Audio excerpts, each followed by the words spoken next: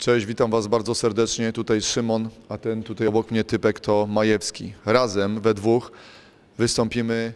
w dworku gościnnym w Szczawnicy. Tam oto właśnie przedstawimy, bądź też ja przedstawię w tych dwóch osobach One More Show, mój monolog o małżeństwie. Półtorej godziny prawdy o związku małżeńskim. Bardzo trudne przejście, bardzo trudny tekst, bardzo trudne życie.